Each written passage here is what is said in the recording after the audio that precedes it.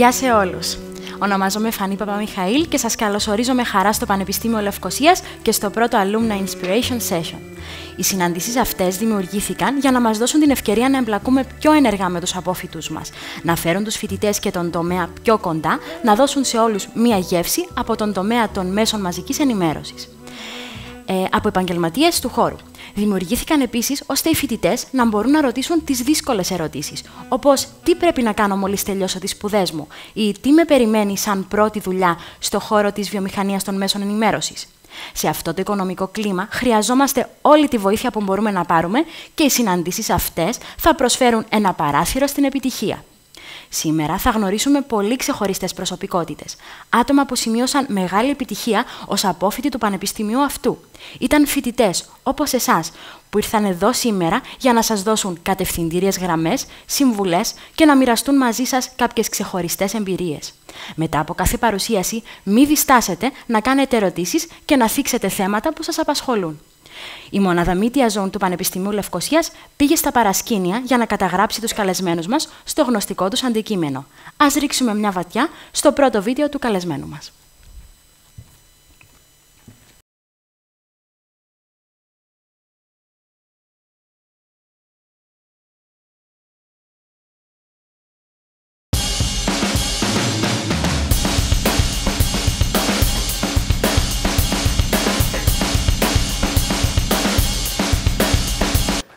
Ένα, δύο, ένα, δύο. Γράφουμε στερεοφωνικός. Ένα, δύο.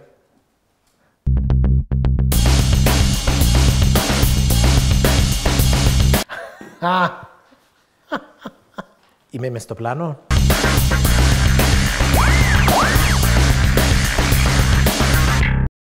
Ναι, who are you; Μικρή ερώτηση, πολύ μεγάλη απάντηση. Τι, τι μπορείς να πεις; Δηλαδή να ξεκινήσεις από πριν, να πεις... Ε, είναι δύσκολο να μιλάς για τον εαυτό σου. ποιος είμαι. είμαι αυτά που κάμνω. Είμαι αυτόν που τρώω. ναι, έτσι που λέει. Είσαι ό,τι τρώεις, είσαι ό,τι λέεις. Α, και ακόμα ένα. Είσαι ό,τι νομίζεις ότι είσαι. Και έξε, δημιουργούμε τώρα. Δημιουργούμε, κατάλαβες. Ενώ πως ένα δέντρο μου το φυτεύκεις. Αν δεν μεγαλώσει, δεν μπορείς να πεις τι είναι. Ό,τι θέλω είμαι βασικά. Φίλε, άρεσε μου. Κράτα το τούτο. Ήμουν το 97-98 και το 99. Το 2000 αποφύτησα. Είχα στον κλάδο των μέσων μαζικής επικοινωνίας, communications. Ήταν ίσως από τα πιο ωραία χρόνια της ζωής μου. Τα φοιτητικά. Επέλεξα μαθήματα περισσότερο απογευματινά. Οι καθηγητές μας ήταν και φίλοι μας ε, μπορούσε να τελειώσουμε το μάθημα και να βρεθούμε μετά, να ήταν λίγο νύχτα, εντάξει, δεν είχαμε έννοια. Ε, περνούσαμε πολλά ωραία. Πω πω, θυμήθηκα τους καθηγητές μου. Νάγια, Ρούσου, Ζερβίδης, βλέπω τον ακόμα. Κυριάκος, Ζερβίδης, είχα διάφορους, διάφορους. Κύριος Περιστιάνης, oh, θυμούμαι τους όλους. Σοφοκλέους, εντάξει. Ξέρεις, κάνω flashback τώρα, πάω πίσω. Πρόσφατα, όχι πολύ πίσω. Δεν ξέρω. Πάντα ένιωθα ότι θα έκανα τούτο που κάνω σήμερα. Να είμαι ε, που το α στο μέγα σε ένα ραδιόφωνο και σε μια τηλεόραση. Πάντα. Ένιωθα ότι ε, τούτος είναι ο σκοπός μου. This is my purpose. Θέλω να το κάνω το πράγμα και θα το κάνω.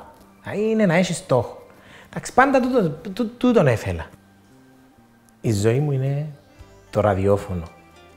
Το ραδιόφωνο είναι αυτό που κάνω.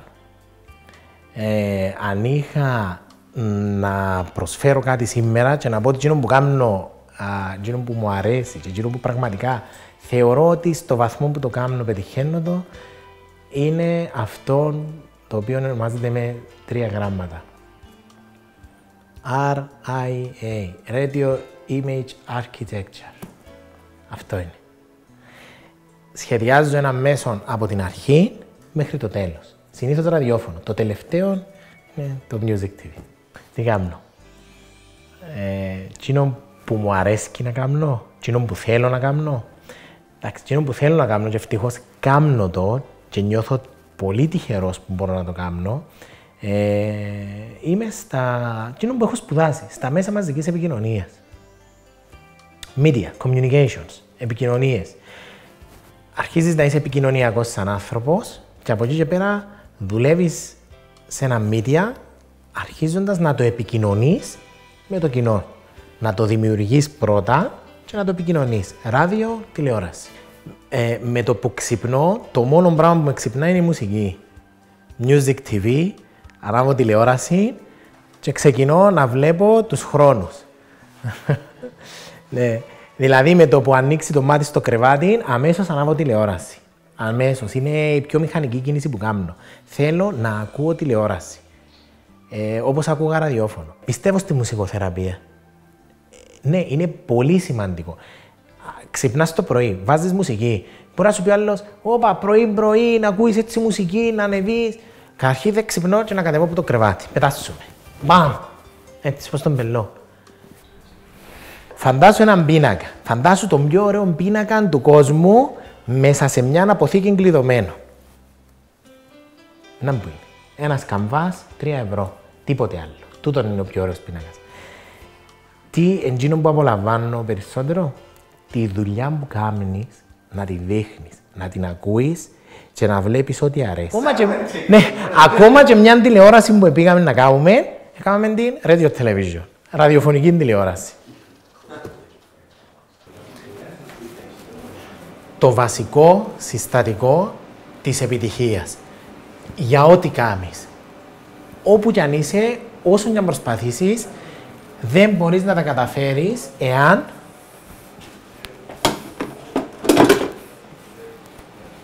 δεν έχεις καφέ.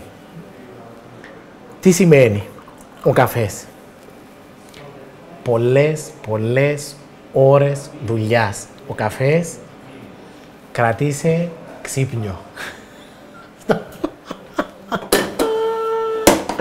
Τζένι, εφρέσκος. Όχι. Ευτυχώς. Πού να θωρώ; Εσάς. Πού να μεγαλώσω, δεν ξέρω να μου να γίνω, δεν αποφάσισα ακόμα. Βασικά, να σου πω κάτι, δεν θα μεγαλώσω. Ήμουν καλός.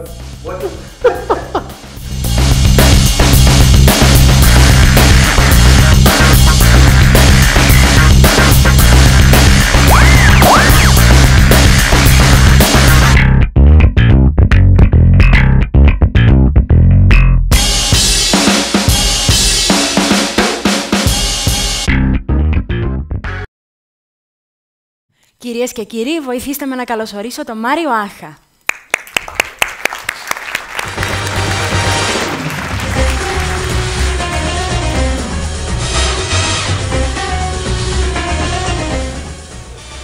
Το Μάριο Άχα. Πάμε ξανά.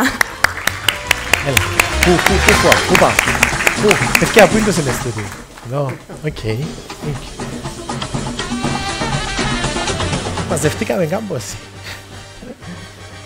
Λέτε να έχει ενδιαφέρον. Καλώς όρισες, Μάριε. Ευχαριστούμε που είσαι μαζί μας. Ο λόγος της καθυστέρησης μου είναι ότι ποτέ δεν έπιασα την ώρα μου σε ένα μάθημα. Ήταν κάτι που κράτησα πάντα. λοιπόν, και αξίζει να πω έτσι. Είχα μια ερώτηση από τον Τζο με τράπηκα για το βίντεο, μετά το είδα. Ξέρεις, είναι από τις φάσεις που το κάνεις, μετά το βλέπεις το δημιούργημα σου, που συμμετέχεις και λες, όχι, δεν είναι δυνατόν να το κάνω. Δεν κάνω έτσι λάθη. Εντάξει, όλη μου η ζωή έτσι ήταν γενικά. Αρκεί να σας πω ένα πράγμα. Πρώτη τάξη του Δημοτικού, έχω ένα βίντεο, δεν το έδωσα, ε, παρακάλεσε με η μάνα μου, ε, είχα να πω ένα μπήμα για το οποίο αντιδρούσα. Μέσα στην τάξη ήμουν το μόνο αγόρι και είχα περίπου 11 ή 12 κοπέλες. Και ήθελε η δασκάλα να μην είμαι ο κυπουρός στον κήπο, να είμαι το Γιασεμί. Ε, ε δεν μπορώ να φανταστώ τον εαυτό μου Γιασεμί. Θα είσαι το Γιασεμί. Το λέει η δασκάλα. Προσπαθούσα να πείσω τον εαυτό μου. Έμαθα τα λόγια. Μέρα της παρουσίασης. Ανεβαίνουν επάνω, μια κοπέλα με καπέλο κυπουρός και βγήκα εγώ το Γιασεμί. Η κίνηση ήταν ακριβώς έτσι. Και έφυγα. λοιπόν, είχα υποσχεθεί στη μάνα μου να βγω. Το να τα πω, δεν το υποσχέθηκα. Λοιπόν, έτσι κάτι όπως τα συμβόλαια που κάνουμε. Λοιπόν, ε, αυτό είναι κάτι το οποίο στιγμάτισε τη ζωή μου και της μάνας μου. Δύο μέρες εκλέ. λοιπόν, με ρωτάει ο Τζον, πες μου κάποια πράγματα που θυμάσαι. Και πάω πίσω στο κολέγιο. Το πρώτο πράγμα που θυμούμαι είναι την πρώτη μέρα που δεν ήβρα την αίθουσα. Και έφυγα. Που τη δεύτερη μέρα ξεκίνησα να βρίσκω τη ροή, να ενταχθώ κι εγώ, να γνωρίσω κόσμο, να μάθω κόσμο και να παρακολουθήσω τον κλάδο των μέσων μαζικής επικοινωνίας. Ένας κλάδος που διδάσκεται εδώ και που πραγματικά πιστεύω ότι αξίζει τον κόπο. Όχι γιατί έκανα κάποια πράγματα, αλλά γιατί πραγματικά ένιωσα έτοιμος με τα όσα διδάχτηκα να βγω έξω και να δημιουργήσω πράγματα. Όπως πιστεύω νιώθει ο καθένας που εσά. Δηλαδή, η μεγαλύτερη σκέψη ποια είναι που είναι αυτή τη στιγμή. Και που νιώθω και εγώ. Ε, να τελειώσω. Τι είναι να κάνω μετά; Αγαπώ αυτόν τον κλάδο. Ε, να με βοηθήσει; Πώς θα με βοηθήσει; Α, μια εγκυκλοπαίδεια σε ένα ράφι δεν λέει τίποτε. Να μάθω μια εγκυκλοπαίδεια μπόξο πάλι δεν λέει τίποτε.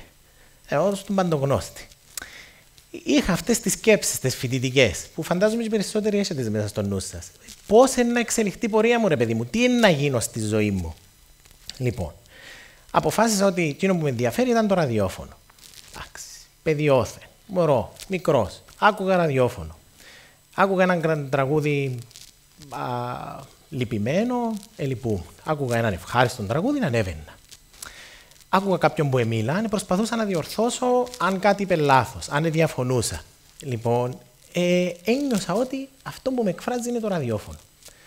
Πρώτον έτος φοιτητής, προς το δεύτερο έτος φοιτητής, αποφασίζω μαζί με τον Κωνσταντίνο τον Γεωργίου, ένα συμφοιτητή μου και τον Φίλιππο Παύλου, να κάνουμε την πρώτη αίτηση για εξειδικευμένο ραδιοσταθμό στην Κύπρο. Ε, μάθαμε από το μάθημα της κυρίας Νάιας Ρούσου τη αγαπημένη ότι η τάση είναι η, τα μύτια να έχουν μία, έναν ID, καθαρό ID. Δηλαδή να ξέρεις ότι έβαλες αυτή τη συχνότητα να ακούς την κλασική μουσική, έβαλες αυτή τη συχνότητα να ακούς ροκ, έβαλες αυτή τη συχνότητα να βλέπεις ποδόσφαιρο. Και είπαμε κι εμείς ότι όπως ήταν το ραδιοφωνικό τοπίο στην Κύπρο, ήθελε κάτι τέτοιο. Λοιπόν, δύναμη, αίτηση, 40 σελίδες αίτηση. Εκεί ξεκίνησε το όνειρο. Υποβάλλουμε την αίτηση για το MixFM, 40 σελίδες, η 39 ήταν λάθος. Απορρίπτεται η αίτησή σας. Okay. Δεύτερη προσπάθεια. Αρχή ραδιοτηλεόρασης. Πάμε. Απολογούμαστε για το λάθος που έκαναμε. Ξαναέτηση. Ξαναπληρώνουμε, ξαναέτηση. Αρκέψαν και λευκά μα τα λεφτά. Στη δεύτερη αίτηση, ευτυχώς για εμένα, έκανα μια καλή κίνηση που την εισηγούμε. Έτσι, Πήρα την αίτηση και πήγα στο γραφείο της κυρίας Ρούσου. Αφού μας διδάσκεται που μας διδάσκεται ραδιόφωνο. Έλα να δούμε αν τα καταφέρουμε. Κάθομαι στο γραφείο της κυρίας Ρούσου και μου λέει: Κοίταξε, μπορώ να σου κάνω εγώ την αίτηση, αλλά μπορώ να σε βοηθήσω βλέποντας κάποια θέματα. Λοιπόν, 100%. Ήταν η πρώτη αίτηση που εδόθηκε για εξειδικευμένο ραδιοσταθμό στην Κύπρο, το Mix FM, και ξεκίνησε το όνειρο. Η δεύτερη απόρριψη ήταν από την τράπεζα. OK. Okay. Πάλι το όνειρο είναι κάπου εδώ και. Πάμε στην τράπεζα να πιάσουμε το δάνειο μας. Πώς θα κάνεις ένα ραδιοσταθμό; 20 χρονών. Ε, να κάνεις την αίτηση στην τράπεζα. Ε, δεν ήταν σαν την αρχή ραδιοτηλεόρασης και δυστυχώς η κυρία Ρούσο δεν μπορούσε να, να μπει εγκυτρία. λοιπόν, κάτι πρέπει να γίνει. Δώσαμε και εκεί μια μάχη, να απορρίφθηκε 10-20 φορές και τελικά εδόθηκε η άδεια Εδώθηκε η άδεια, εδώθηκε η έγκριση, το πράσινο φως, ουσιαστικά ένα δάνειο που μας είχαν κάνει για να αρχίσουμε. Και ξεκίνησε το Mix Το όνειρο πάλι νιώσαμε ότι έγινε πραγματικότητα. Μέχρι το πρώτο ένταλμα. Δεν πήγαινε τίποτε καλά. Όπου πληρώναμε χάνονταν τα λεφτά. Μια γκαντεμιά, ρε παιδί μου, θα ο τόπο σταθμό ξένης μουσικής. Γίνεται. Λοιπόν, δυσκολίες. Πολλές δυσκολίες. Και να είσαι και ιδιοκτήτης και να πρέπει να πληρώνεις και να πρέπει να εισπράττεις. Σκεφτήκαμε τα όλα εκτός που τούτο. Ξέρεις, όταν κάνεις ένα project, βρίσκεις όλα ιδανικά. Όταν μπεις να το δουλέψεις, καταλάβεις ποια είναι η διαφορά στην πραγματικότητα. Πολύ διαφορετικό. Ε, το ίδιο ισχύει όταν είσαι κάπου και πληρώνεσαι ή όταν πληρώνεις κάποιους. Τούτο πράγμα πρέπει να το ζήσεις για να το καταλάβεις. Πρέπει να το ζήσεις. Ακούεται εύκολο, πιστέψτε με, δεν είναι. Δηλαδή, ναι, να δεις τους συνεργάτες σου να φεύγουν η ώρα 6 στην ώρα τους. Εσύ όμως να αφήσεις η ώρα 12. Κάτι 12 ώρα με τον καφέ που είδατε, που είναι τα φρεσκός, ατελείωτα. Και αμέ βρέθηκε ο καφές, και αμέ βρεθήκαν οι καλές σχέσεις, εκεί έδωσαμε τη μεγαλύτερη μάχη που ενόμιζα παλιά ότι ήταν η τράπεζα, ότι ήταν η αρχή, ότι ήταν να τελειώσουμε το πανεπιστήμιο. Τελικά η πραγματική μάχη ήταν σε εκείνον το σημείο.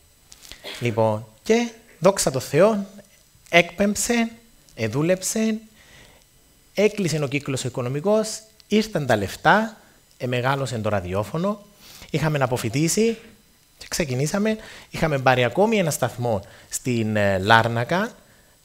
Έκαναμε ένα εντελώς διαφορετικό φόρμα, το οποίο και εκείνον πήγε πάρα πολύ καλά. Λοιπόν, τι έγινε μετά. Το, το 2007 έγινε μια έκθεση από το National Broadcast Association, το NAB, η οποία έλεγε ότι το 80% των Αμερικανών και το 70% των Ευρωπαίων δεν έχουν ραδιοφωνική συσκευή στο σπίτι. Κύριε Σοφοκλέους, το γνωρίζετε; Δεν έχουν ραδιοφωνική συσκευή στο σπίτι. Αμέσως είπα, αμάν, έτοιμα μάχη μπορεί να χάσουμε. Πάλι να τα κλείσουμε. Κάτι δεν πάει καλά. Δεν έχει ραδιόφωνο στο σπίτι. Τι είναι να γίνει, ε, να κλείσουμε το ραδιόφωνο; Επίαν η κόπη μας άδικα; Ε, θα δουλεύει και το ραδιόφωνο. Ήρθε το ραδιόφωνο εναντίον, ήρθε το ίντερνετ, το ιντερνετικό ραδιόφωνο, εναντίον του ραδιοφώνου. Τι έγινε; Λοιπόν, η έρευνα όμως έλεγε και κάτι άλλο. Ο νεαρός κόσμος ακούει τηλεόραση. Ναι, αγοράζει μία συσκευή, την ανάβει και ακούει τηλεόραση. Λοιπόν, πολύ καλά ως εδώ. Τι είναι να γίνει, να κλείσουμε τη δουλειά μας, πώς θα αντεπεξέλθουμε; Λοιπόν, πάλι ήμασταν η πρώτη ομάδα που σε συνεργασία με τον όμιλο του Αντένα δημιουργήσαμε το πρώτο κυπριακό μουσικό κανάλι, το Music TV. Πήραμε τον ήχο και την εικόνα και δημιουργήσαμε ένα τηλεοπτικό ραδιόφωνο. Αυτή τη στιγμή το κανάλι μεταδίδει 24 στο 24 ώρο μουσική. Έτσι. Ήταν ένα καινούριο project. Το οποίο πού γεννήθηκε το project; Γιατί εδώ θέλω να καταλήξω μπροστά σας. Που ε, πιστεύω είναι το πιο σημαντικό, το ουσιαστικό. Ε, δημιουργήθηκε πέρσι, στην κρίση. Η κρίση που τα διαλύει όλα. Υπάρχει όμως κάτι το οποίο θέλω να το πω για να το ξέρετε και για να μην απογοητευτείτε, είπα σας, αλλά να παλέψετε και να δοκιμάσετε και να καινοτομήσετε. This is the right time to build up a product, a new product. Κάτι καινούριο. Η κρίση, η κρίση θα δημιουργήσει σοβαρά προβλήματα κάπου, ναι, μένουμε άνεργοι, ενισπράττουμε, ε, χτυπούμαστε στις πόρτες. Έχει προβλήματα, ναι, ξέρουμε το. Ε, ξέραμε το. Όμως, η κρίση, είτε το πιστεύετε είτε όχι, στους ανθρώπους που ξέρουν να είναι ευελικτοί, δημιουργεί κάποιες άλλες θέσεις, κάποια άλλα ανοίγματα που είναι για που να φανεί ποιος θα αρπάξει την ευκαιρία να προχωρήσει. Αν παράδειγμα, ε, σε όποιο meeting κάνουμε, ξεκινούμε με την κρίση εν τω μεταξύ. ήταν αναπόφευκτο να την αναφέρω. Λοιπόν, ε, ε, πρόσεξα ότι η γυναίκα μου εδώ και ένα χρόνο, μια φορά το μήνα, κρεμάζει στο πόξο που είναι το σπίτι ένα σακούλι με 8 ευρώ. Ε, πρόσεξα το. Ε, διαρωτούμουν γιατί, πραγματικά διαρωτούμουν γιατί. Ρε παιδί μου, λαλό, αν ρωτήσω ένα φανό ότι με ο άντρας που τον ενδιαφέρει και δεν ξέρει. Να πάω να ρωτήσω το γιο μου, ε, που μητσίν και που πελώ να μάθεις την αλήθεια, ένα μου πει ο Μίτσης. Λέω του, γιατί η μαμά πάει και κρεμάζει ένα σακουλί; Με 8 ευρώ, ξέρω γιατί ζήτα μου κάποτε ψηλά, με 8 ευρώ στο καντζέλι έξω. Γιατί σκούπα μου λέει. Όπαλα, ποια σκούπα; Παπά, έχουμε μια υπηρεσία, λαλή μου, 7 χρονών ο γιος μου, που έρχονται, πιάνουν τη σκούπα μας και βάλουν μας καινούρια. Α, έστησα καρτέρι, τον περασμένο μήνα. Να δω ποιος έρχεται και αλλάσει μου τη σκούπα, ρε παιδιά.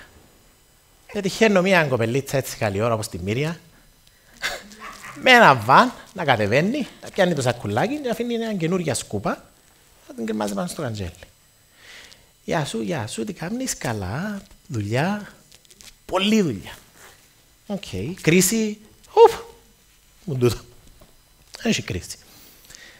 Λέω της τι ακριβώς κάνεις; Με θωρείς. Ε, πουλώ σκούπες. OK, okay, πουλάς σκούπες.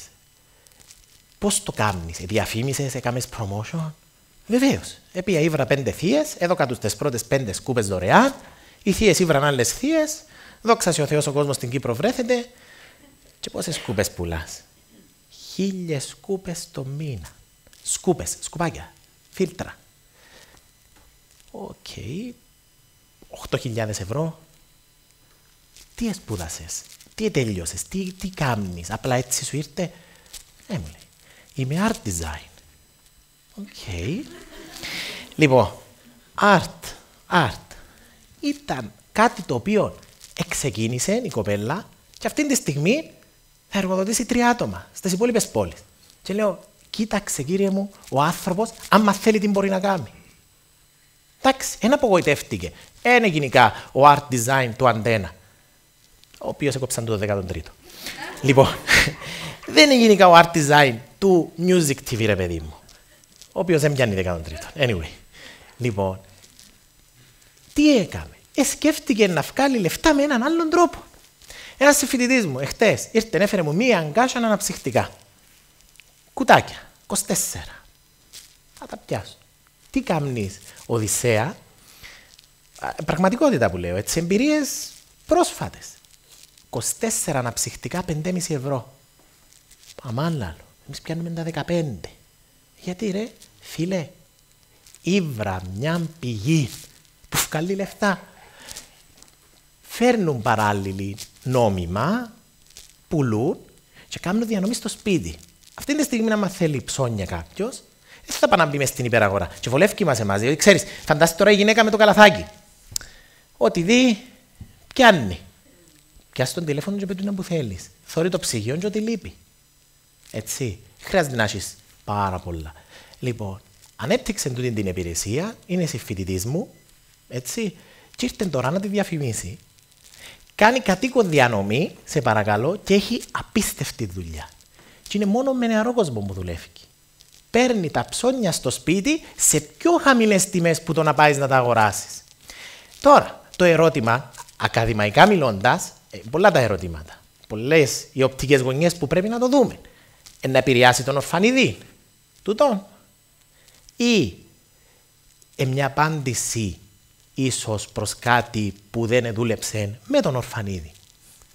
Ποιος ξέρει. Το θέμα είναι ότι ένα παιδί 30 χρονών αυτή τη στιγμή ξεκίνησε μια από τις μεγαλύτερες επιχειρήσεις στη Λευκοσία και επεκτείνεται. Όπως η κορώνα με της σκούπα, νομίζω είναι μεγαλύτερα σκούπα. Λοιπόν, ε, έτσι είναι, έτσι είναι ο τρόπος. Έτσι, έτσι δουλεύεις, έτσι απαντάς σε τούτο που λέμε κρίση. Τίποτε, να κλειστείς σε ένα δωμάτιο και να είσαι όλη μέρα έτσι μέσα στα νεύρα δεν θα δουλέψει. Πώς ξεκίνησες, μου λέει ο Τζον. Πώς ξεκίνησα. Να σας πω πώς ξεκίνησα. 12 χρονών εντόπισα το ραδιοσταθμό της γειτονιάς μου. Το Zenith FM. Επία να δώσω τις συμβουλές μου, οι οποίες πάλι απορρίφθηκα. Επία να συνεργαστώ με τα παιδιά ε, και κατάφερα τα πώς αμυστεί. Δηλαδή, εσύ θα έρχεσαι να κάνεις ένα πρόγραμμα, θα αναλάβεις να στήσεις μια εκπομπή, αλλά ξέρεις, δεν μπορούμε να σε πληρώνουμε. Να με φάει ο κόσμος. Μα γίνεται να πηγαίνει και να μην πληρώνεσαι. Μα γίνεται να πηγαίνει να μην πληρώνω. Δεν ήθελα να πληρώνουμε 13 χρονών, 14. Είπα ρε παιδί μου, είχα ανάγκη, δεν είχα. Θα το κάνω τζάμπα. Θα πάω να νεκατωθώ, να τους νεκατώσω και να μάθω. Δεν έχω άλλη επιλογή. Ε, ήθελα πολύ να ξεκινήσω. Παιδιά, τέσσερα χρόνια έκανα ραδιοφωνική εκπομπή ε, στο Zenith FM, τοπικός σταθμός Λευκοσίας, ε, 13 χρονών. Μου έχει τον καιρό που πήγα στο στρατό. Λοιπόν, χωρίς να πληρωθώ. Νομίζω ότι είναι ένα από τα καλύτερα πράγματα που έκανα στη ζωή μου. Αυτό με βοήθησε ασφαλώς βοήθησε με μετά και η ακαδημαϊκή άποψη, η μεριά. Χρειάζεται. Όχι χρειάζεται, είναι απαραίτητη. Τώρα, προσέξτε. Πώς θα το χρησιμοποιήσεις, είναι όπως ένα σίδερο. Κάποιος να κάνει με ένα σίδερο κάτι να βοηθήσει τον κόσμο όλο ή θα το αξιοποιήσει και θα το χρησιμοποιήσει σωστά και κάποιος μπορεί να σκοτώσει έναν άλλον άνθρωπο. Κάποιος μπορεί να το πετάξει. Έτσι είναι οι γνώσεις. Είναι το πώς εσύ θα τις χρησιμοποιήσεις και πού είναι ο σωστός τρόπο να τις χρησιμοποιήσεις και ο τρόπος. Να μην τις έχεις δεν γίνεται. Να έχεις πάρα πολλές, πολύ θετικό, πολύ καλό. Τώρα από εκεί και πέρα, πώς θα τις χρησιμοποιήσεις, από σένα εξαρτάται. Λοιπόν, έτσι, εγώ εκείνο που ήρθα σήμερα να πω, δεν είναι για τα πράγματα που έκανα. Είναι γιατί ένιωσα ότι να έχω μπροστά μου κάποιους. Σίγουρα, αν ήταν να πω για τα πράγματα που έκανα, πού να το πω. Μπροστά από τους καθηγητές μου να πω εγώ πράγματα που έκανα, είμαι αρτό. Σε καμία περίπτωση. Εγώ, εκείνο που ήρθα σήμερα να πω, είναι ότι χρησιμοποιήστε τις γνώσεις που παίρνετε από τούτον εδώ το χώρο, πραγματικά. Εντάξει, να περάσει και ωραία, έχει τα καλά του. Η πανεπιστημιακή ζωή, σίγουρα. Όλοι το ζήσαμε και ζούμε το. Και δεν μιλώ σαν ένας γέρος. Δεν ξέρω να ακούμε έτσι, ελπίζω να μην ακούμε έτσι. Απλά μιλώ με το πάθος του ότι πραγματικά θα σας φανεί χρήσιμο. Πραγματικά, πραγματικά. Δηλαδή, ε, όσο πιο πολύ δυσκολευτείτε, τόσο πιο πολύ θα σας φανούν χρήσιμα τούτα που μαθαίνετε. Η γνώση λέει δεν αγοράζεται. Χαχα, την αγόρασες σε έναν iPad λέει ο άλλος. Είναι πώς το αντιλαμβάνεσαι, είναι πώς το δουλεύεις, είναι πώς το χειρίζεσαι. Λοιπόν, κάτι το οποίο θα ήθελα να αναφέρω πριν τελειώσω είναι το εξής κάτι το οποίο θα μπει στο CV μου, κάτι το οποίο θα νιώθω περήφανος, είναι κάτι το οποίο είναι διαδραματίστηκε και διαδραματίζεται σε αυτόν εδώ το χώρο. Πριν από δύο μήνες περίπου, το καλοκαίρι, ήρθα εδώ, συνάντησα κάποια παιδιά, όπως είναι ο Τζον ο Μαυρή, ο Τζον ο Ιωάννου, η Μύρια, ο Χατζη Μάικ, μια ομάδα ανθρώπων που σήμερα με έχει προσκαλέσει, τα παιδιά εδώ, τα παιδιά πάνω, που γυρίσαν αυτό το βίντεο κλιπ, θέλω να θυμούμε. Λοιπόν, και, όχι για το γύρισμα, για μένα. Λοιπόν, και ε, αποφασίσαμε μαζί, ήταν κοινή ιδέα, να δώσουμε πραγματικά βήμα σε νέους ανθρώπους. Υπάρχει το Media Zone και να μαζέψουμε μια ομάδα ανθρώπων η οποία, φοιτητών, θα δημιουργήσει κάτι να το δείξει το Music TV, αλλά θα είναι αποκλειστικά δική τους δουλειά. Αποκλειστικά. Πώς πάμε, Τζον; Δύο εκπομπές είναι έτοιμες. Χορηγοί θέλουν να χορηγήσουν τις εκπομπές αυτές, ανεξάρτητη χορηγή. Το αποτέλεσμα είναι απίστευτα επαγγελματικό, σας το λέω. Είναι απίστευτο. Θα προβληθούν από την τηλεόραση. Το Συμβούλιο του Αντένα και κάποιοι expert που τις έχουν δει μας έχουν πει αποκλείεται. Κάποιος έβαλε sharing, κάποιος expert τίποτε. Τους αφοπλίσαμε. Ήμουν στα γυρίσματα, ούτε ο Τζον, ούτε ο Χατζη Μάικ, ούτε κάποιος άλλος ε, έκανε οποιαδήποτε παρέμβαση. Το project των φοιτητών είναι τέλειο, οι εκπομπές είναι απίστευτες, είναι μια δουλειά επαγγελματική. Ε, πραγματικά ε, συναγωνίζεται αυτά που παίζουν στις τηλεοράσεις σήμερα και που ξοδεύονται πολλά λεφτά. So, από αυτόν εδώ το χώρο βγαίνει κάτι από τους νέους το οποίο θα προβληθεί. Ε, θεώρησα ότι είναι χρέος μου και προχωρούμε και θα έχουμε μεταδόσεις. Έχουμε δύο έτοιμες, θα έχουμε ακόμη δύο. Ναι, μια ομάδα. Όταν ήρθα και είδα τους ανθρώπους, όταν ήρθα και είδα τα, τα παιδιά αυτά, ε, έμεινα. Είναι καλύτεροι από εμάς. So, αν εμείς πετύχαμε κάτι, θα πετύχουν πολύ περισσότερο.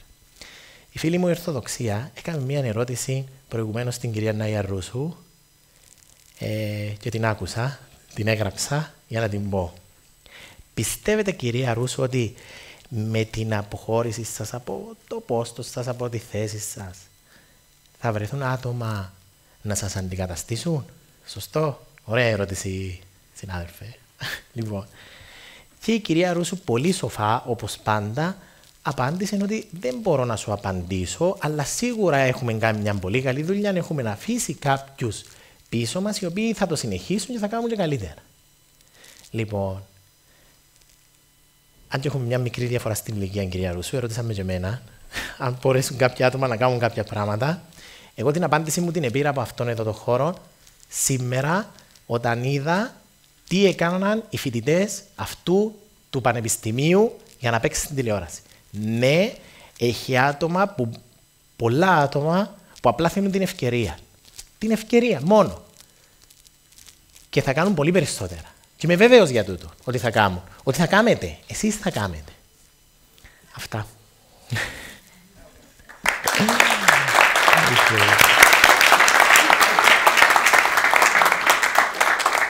Ευχαριστούμε πολύ. Αν κάποιος θέλει να ρωτήσει κάτι. Είπα τα ούλα.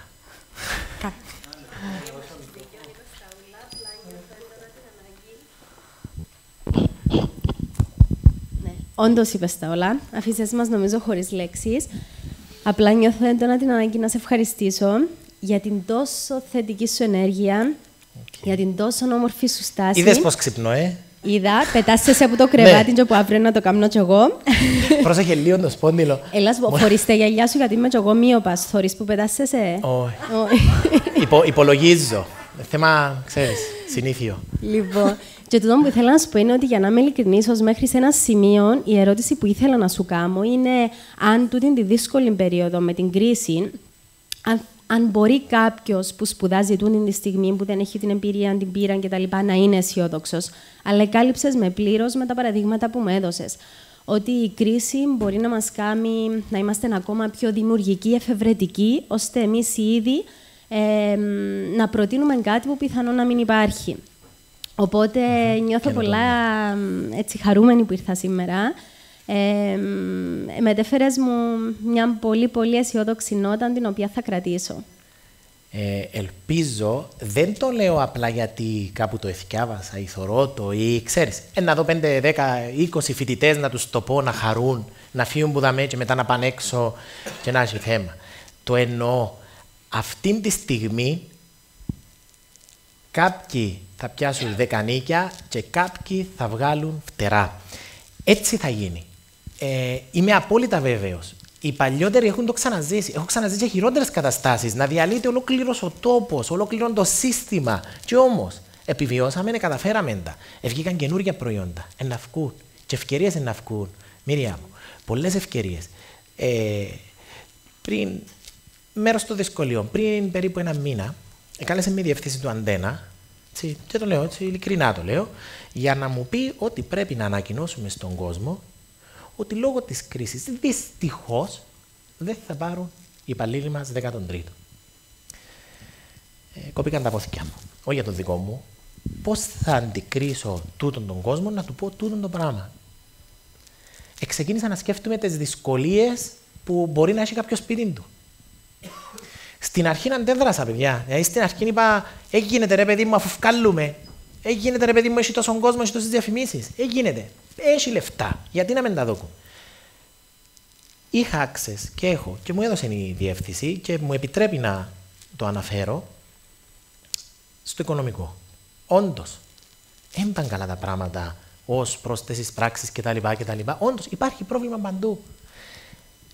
Όταν καλή ώρα όπως είμαστε τώρα έπρεπε να αντιμετωπίσω το τμήμα του ραδιοφώνου.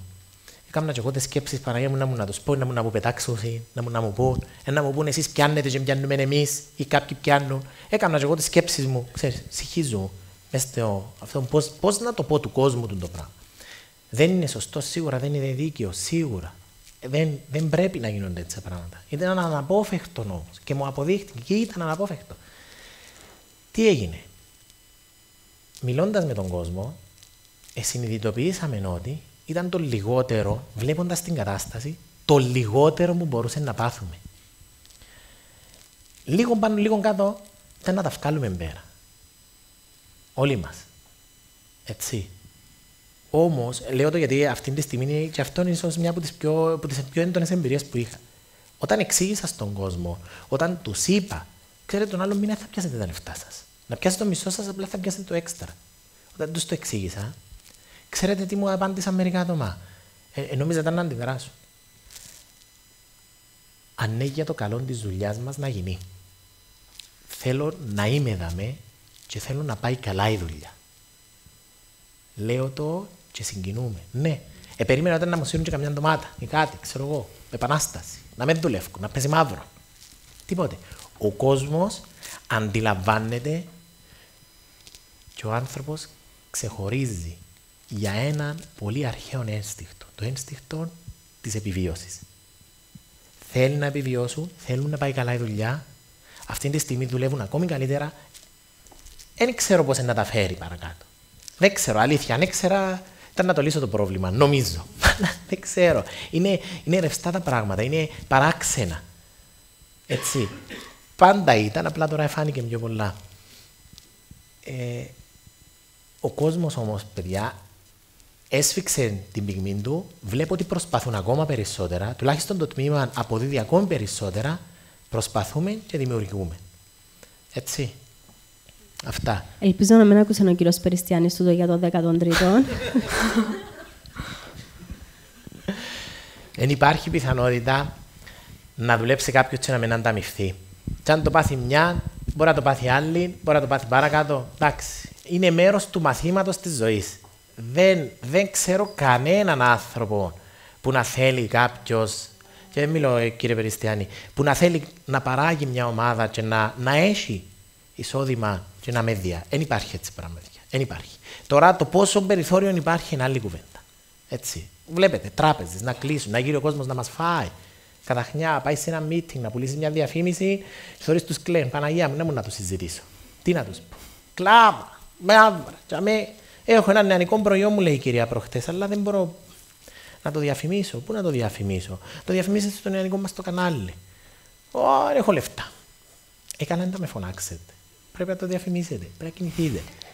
Λίγο πάνω, λίγο κάτω, πρέπει να στήσουμε την κατάσταση. Μα έχω το προϊόν, δεν ξέρω να το διαφημίσω. Να σας βοηθήσουμε, να δώσουμε λύσεις, να δημιουργήσουμε. Ε, θέλαμε εμείς 5.000 ευρώ την τηλεοπτική παραγωγή. 500 ευρώ κάνουμε. 100 ευρώ κάνουν την το media zone και κάνουν καλύτερη. Γιατί; Έτσι. Διότι ο φοιτητής, ο Ανδρέας, ο Μάριος, δουλεύουν και δημιουργούν. Προχωρούν. Αυτά. Thank you. Ευχαριστούμε ακόμα μια φορά τον Μάριο για την ενδιαφέρουσα και ενθουσιώδη παρουσίαση του και θα περάσουμε στο επόμενο βίντεο και την καλεσμένη μας.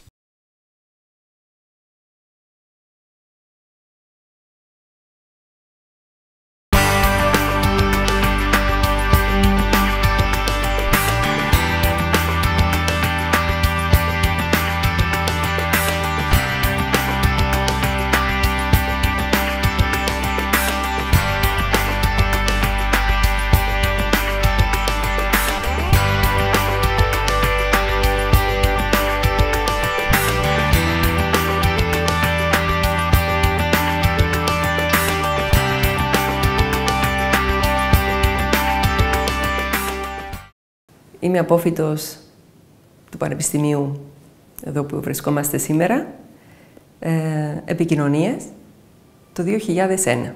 Οι επικοινωνίες βασικά είναι το στοιχείο μου. Επικοινωνώ είτε μέσω της φωνής μου και επικοινωνώ ε, καθημερινώς στα σπίτια του κόσμου, στο σαλόνι, στην κουζίνα, μέσω τηλεόρασης. Επικοινωνώ συνεχώς. Θυμάμαι, είχα έρθει εδώ, συναντήθηκα με τον ε, κύριο Ανδρέα Θεοφάνους, και μου έδωσε το έναυσμα. Με πρόθεσε για να κάνω το, το πτυχίο και δεν το έχω μετανιώσει καθόλου. Δηλαδή μου έχει ανοίξει τα φτερά για τη μετέπειτα πορεία μου. Είχε δίκαιο.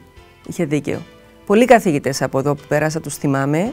Η Νάγια Ρούς είναι ο άνθρωπος ο οποίος μέχρι σήμερα δίνει το έναυσμα στους νέους να το παλεύουν. Το παλεύουν συνεχώς. Κύριος Ανδρέας Σοφοκλέους, εξαιρετικός καθηγητής. Μέχρι τώρα έχουμε επικοινωνία και θυμάμαι τον έπαιρνα κατ' επανάληψη. Μαζί του θα ήθελα να κάνω και το, το μετέπειτα εκπαιδευτικό μου σενάριο στο διδακτορικό. Είμαστε ήδη σε επαφή. Τη ΤΑΟ, η φίλη μου η Σοφία που διατηρούμε και φιλικές και οικογενειακές σχέσεις. Και εδώ ήταν που με άκουσαν οι πρώτοι καθηγητές και πήγαμε σε στούντιο και ήταν εδώ μάλιστα που μου είχαν πει ειδήσεις. Η φωνή έχει τον πάσο των ειδήσεων. Θυμάμαι όλη την αποφύτιση συγκεκριμένα. Ε, και τα καπέλα στο τέλος, που μέχρι τώρα όλα τα πανεπιστήμια το κρατάνε, είναι εκεί που σου δίνεται πλέον το έναυσμα να βγεις στο, στον κόσμο, να δώσεις αυτά που έχεις ήδη αποκομίσει από την εμπειρία και την πείρα σου στο πανεπιστήμιο. Τρελές εμπειρίες είχαμε πάρα πολλές εδώ φοιτητές. Δραστήριοι, πάρα πολύ δραστήριοι. Και μπορώ να πω ότι ήμασταν και αρκετές, αρκετά κορίτσια τότε. Ε, το να χειρίζονται τα κορίτσια τις κάμερες και τα λοιπά δεν ήταν και εύκολο. Αλλά εντάξει, το παλεύαμε, δείχναμε ότι είχαμε το ενδιαφέρον. Και αυτό που λέμε το σκουλίκι της δημοσιογραφίας. Γιατί δεν το έχεις αυτό, δυστυχώς ε, δεν επιβιώνεις με τα ωράρια. Τώρα είμαστε εδώ και βλέπω μόνο άντρες. Μόνο άντρες βλέπω και πίσω από τις κάμερες και στο φωτισμό και στην ηχοληψία.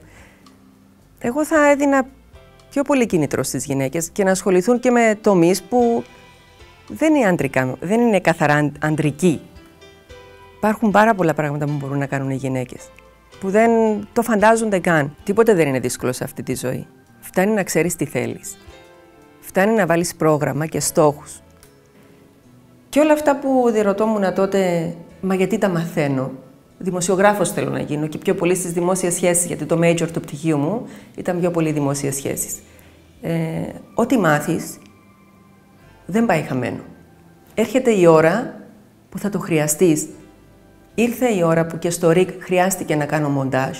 Ήρθε η ώρα που χρειάστηκε να χειριστώ και την κάμερα. Ήρθε η ώρα που χρειάστηκε να δώσω εγώ τις οδηγίες στο παιδί κάνε ένα καλύτερο headroom ή κάνε την κάμερα ένα πάνω δεξιά για να είμαι πιο κέντρο σε σύγκριση με το background. Και όλα αυτά, όλη αυτή η εκπαίδευση εδώ και όλη αυτή η εμπειρία που είχαμε πάρει και από τους καθηγητές και ακόμα και τη στραβή που κάναμε, μάθαμε, ε, οδήγησαν στο να σε κάνουν πιο γνώστη στα θέματα της δημοσιογραφίας. Το καλύτερο πράγμα που μπορεί κάποιος να κάνει και εγώ το εφαρμόζω καθημερινά είναι να, να δημιουργώ. Δημιουργώ. Δημιουργώ συνεχώς. Οτιδήποτε και να είναι και στο γραφείο και στην απλή καθημερινότητα, ακόμα και ένα κέικ. Ακόμα και ένα καφέ, κάθε φορά που τον φτιάχνεις, τον δημιουργείς με διαφορετικό τρόπο, με στόχο πάντα να είναι πιο, πιο καλός. Και πρέπει να είσαι ο εαυτός σου. Δεν πρέπει ποτέ, μα ποτέ, κανείς να προσπαθήσει να αντιγράψει κάποιον άλλο. Ούτε να πει θέλω να γίνω όπως την Αλίκη Βουγιουκλάκη, όπως την Ελιστάη, όπως τη Μαρία Τιχούκλη. Τα μέσα μαζικής ενημέρωσης είναι αυθεντικά. Βγάζουν αυτό που εσύ είσαι. Δηλαδή δεν μπορείς να κοροϊδέψεις κανένα. Και πόσο μάλλον το ραδιόφωνο. Η εικόνα είναι εκεί και σε βλέπει. Κρίνει η φωνή μέσω ραδιοφώνου πολύ διαφορετικό. Δηλαδή νιώθει τον παλμό το πώς αισθάνεσαι ο ακροατής. Αν είσαι αγχωμένος, αν είσαι αδιάβαστος, αν έχεις μελετήσει ή όχι το δελτίο ειδήσεων, βγαίνει. Εδώ, εδώ ασχολήθηκα πάρα πολύ, ώρες αμέτρητες. Να γίνει το μοντάζ, άλλαξαν κάποια πράγματα τώρα βλέπω, έχουν γίνει όλα σε ηλεκτρονική μορφή. Παλαιότερα εδώ ήταν οι μονταζιέρες, ήταν κασέτες, η μπέτα, VHS θυμάμαι. Τώρα αυτά έχουν εξαφανιστεί όλα. Ε, και έχουν πάρει τη θέση τους, βλέπετε είναι και πιο καθαρά. όλα έχουν αλλάξει. Εδώ είχα μάθει ποια είμαι. Η δόξα οικομοδρόμου, που εδώ έχτισα αυτό το όνομα. Πριν ήμουνα η μαθητριούλα, το παιδάκι σε ένα χωριό και εδώ είναι που έχτισα το όνομά μου.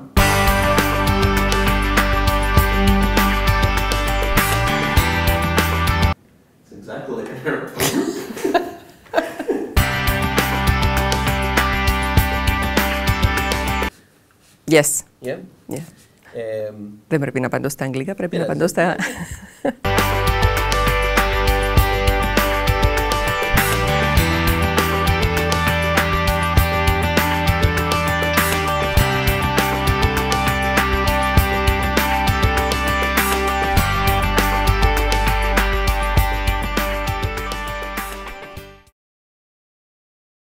Κυρίες και κύριοι, ας υποδεχτούμε τη δόξα κομμοδρόμου.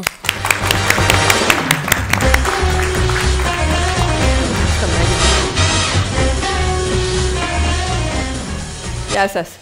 Εγώ δεν είμαι παραστατική όσο και ο Μάριος. Οπότε εγώ θα πάρω τη θέση μου να είμαι πιο, σε πιο ήπιους ρυθμούς, γιατί το πόστο το οποίο έχω στις ειδήσεις πρέπει να είναι ε, τέλος πάντων πιο πολύ ε, καθισμένη παρά να κινούμε δεξιά-αριστερά. Εξάλλου αυτό που έχουμε μάθει στις ειδήσεις είναι να είσαι πιο πολύ σταθερός και όχι να κινείσαι δεξιά-αριστερά. Επειδή μου φοιτήτρια έτσι ήμουν, πάντα, πάντα Έτσι ήσουν, ε, ναι, θυμούμαι, θυμούμαι, ήσουν πάντα λίγο πιο... Πάντα ήμουν ε, ε, ε, φαίνεται η κλίση προς τις ειδήσεις. Φαινόταν από τότε. Σε αντίθεση ε, με μένα. Φαινόταν άλλο, με, με σένα έβγαινε άλλο πράγμα. Κύριε Περιστιανή, σας χαιρετώ. Αγαπητοί μου καθηγητές, αγαπητοί φοιτητές, σας ευχαριστώ θερμά. Βλέπετε ότι έχω κάνει ήδη ένα γραπτό λόγο, σε αντίθεση με τον Μάριο. Και αυτό πάντα ε, βγαίνει μέσα από το γραπτό λόγο και των ειδήσεων, γιατί στις ειδήσεις πάντα χωρίς κείμενο δεν μπορείς να κάνεις οτιδήποτε. Δεν μπορείς να αυτοσχεδιάσεις, δεν δικαιούσε να πεις οτιδήποτε εκ του προχείρου, απαγορεύεται καθέτος. Οπότε με αυτή τη συνήθεια έχω φέρει και ένα γραπτό κειμενάκι. Το οποίο έχω ντύσει και με φωτογραφίες για να είμαι ειλικρινής, γιατί δεν θυμόμουν τις της ζωή που είχαμε κάνει και έβρισκα και τις φωτογραφίες και τι, ε, τις ενσωμάτουσα. Μετά έλεγα και στον Τζον αν, αν ήθελα να τις παρουσιάσουμε, αλλά λέω άσε γιατί ήταν τόσες πολλές και τόσα, τόσες πολλές εμπειρίες που δεν θα μιλούσαμε για ώρες εδώ. Συγχαρητήρια, παιδιά, για την πρωτοβουλία σας. Πραγματικά σας συγχαίρω. Ε, το alumni πάντα σε όλα τα πανεπιστήμια χρειάζεται, γιατί είναι η επαφή με τους παλαιούς και τους νέους, πάντα χρειάζεται και με τους καθηγητές μας, γιατί εξάλλου μας δίνεται και η ευκαιρία να, να τα λέμε και λίγο πιο συχνά. Έχω ήδη συνεργαστεί με τα παιδιά του Media Zone εδώ, στο τελειπαιχνίδι του FameLab. Γνωρίζω ήδη τη δουλειά τους και οφείλω να τους συγχαρώ και επίσημα για την προθυμία τους, την όρεξη που τους διακατέχει όλους και το πάθος τους για αυτό που τάχθηκαν να κάνουν. Κάποτε ένας καθηγητής μου εδώ στις διεθνείς σχέσεις και σύμβουλος της ακαδημαϊκής μου πορείας μου είπε: Δεν μπορείς να φανταστείς πόσο θα σε βοηθήσει το πτυχίο στις επικοινωνίες, ήταν δημοσιογραφία και δημοσίες σχέσεις, εδώ στο Πανεπιστήμιό μας, και ότι θα σε ανεβάσει και θα ανεβάσει και τη σκέψη σου και τις πράξεις σου σε ένα νέο επίπεδο από αυτό που ήδη είσαι τώρα. Φεύγοντας από εδώ, θα είσαι έτοιμη, μου είπε, λες και είχες δουλέψει χρόνια ολόκληρα στα μέσα μαζικής ενημέρωσης ή σε οποιοδήποτε άλλο σχετικό τομέα. Και όντως, μετά από αρκετά χρόνια, αυτός ο λόγος αποδεικνύεται αληθινός. Είχε δίκαιο. Θυμάμαι τα λόγια του καθηγητή μου Ανδρέα Θεοφάνους, σήμερα Προέδρου του Κυπριακού Κέντρου Ευρωπαϊκών και Διεθνών Υποθέσεων του Πανεπιστήμιου Λευκοσίας. Αντιμετώπιζα με ψυχραιμία, δυναμισμό και με στη σκέψη όσα είχα απέναντί μου. Ανέπτυξα έναν αέρα αυτοπεποίθησης που αποτέλεσε εχέγγυο της επιτυχίας στη διαρκή πορεία μου όλα αυτά τα χρόνια στους επένους, τις χαρές και τις λύπες, στο ανέβασμα αλλά και στο κατέβασμα, στα εύκολα και στα δύσκολα. Τότε εργαζόμουν ως κοινοβουλευτική συνεργάτητα του βουλευτή και αργότερα Προέδρου του Δημοκρατικού Συναγερμού του κ. Γιαννάκη Μάτση.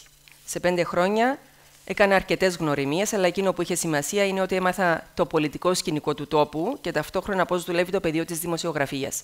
Δημοσιογραφία χωρίς πολιτική ή πολιτική χωρίς τη δημοσιογραφία δεν μπορεί να υπάρξει. Το ένα τελεί αλληλένετο του άλλου. Αυτά τα δύο τα είχα συνδυάσει άρτια. Αργότερα μετέβηκα για πέντε χρόνια στο Ευρωκοινοβούλιο, αφού ο κ. Μάτσης εξελέγει Ευρωβουλευτής από το 2004 έως το 2009. Εκεί έμαθα τα επί των διαδικαστικών και τα επί των ευρωπαϊκών θεμάτων πώς κινούνται οι Ευρωβουλευτές. Γνώρισα τις Βρυξέλλες και την Μπρούζ, όσο κανένας άλλος. Κάθε Ευρωβουλευτής έχει δικαίωμα, όπως γνωρίζετε, να φιλοξενεί 100 άτομα το χρόνο, να γνωρίσουν οι πολίτες των 27 κρατών μελών πώς λειτουργούν οι θεσμοί της Ευρώπης. Και αφού ολοκληρώθηκε η θητεία μου εκεί, στο Ευρωκοινοβούλιο, πρέπει να κινηθώ προκειμένου να επικεντρωθώ σε άλλες προοπτικές πλέον που να δίνουν συνέχεια και πνοή στη ζωή μου. Κατάφερα και εξασφάλισα εργασιακή θέση στο Πανεπιστήμιο Κύπρου, μετά από εξετάσεις που προκηρύχθηκαν και από το 2007 μέχρι σήμερα είμαι λειτουργός στο Γραφείο Εκδηλώσεων στον τομέα πρόθεσης και προβολής της Πριτανίας, δηλαδή ότι έχει σχέση να κάνει με τον Πρίτανη, τους Αντιπριτάνη και γενικά την πανεπιστημιακή κοινότητα. Το Γραφείο Εκδηλώσεων είναι υπεύθυνο για την οργάνωση, τον γενικό συντονισμό και την προβολή των κεντρικών εκδηλώσεων σχεδόν όλου του Πανεπιστημίου Κύπρου.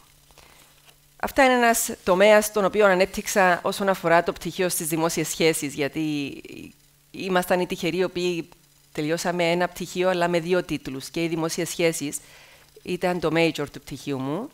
Η δημοσιογραφία την άφηνα λίγο πιο κάτω. Ε, Και τώρα τα συνδυάζω και τα δύο, δηλαδή δημόσιες σχέσεις είναι αυτό που κάνω τώρα στο Πανεπιστήμιο Κύπρου. Τώρα, πώς συνδυάζονται όλα αυτά με τα μέσα μαζικής ενημέρωσης και ποια είναι η σχέση μου με την τηλεόραση και το ραδιόφωνο του ΡΙΚ; Όπως σας έχω αναφέρει, όταν ήμουν συνεργάτηδα με τον κύριο Μάτση, διατέλεσε βουλευτής, πρόεδρος κόμματος και αργότερα ευρωβουλευτής. Είχα καθημερινή επαφή με όλα τα μέσα μαζικής ενημέρωσης του τόπου, το ραδιόφωνο, την τηλεόραση, τις εφημερίδες, για την προβολή του έργου που γινόταν.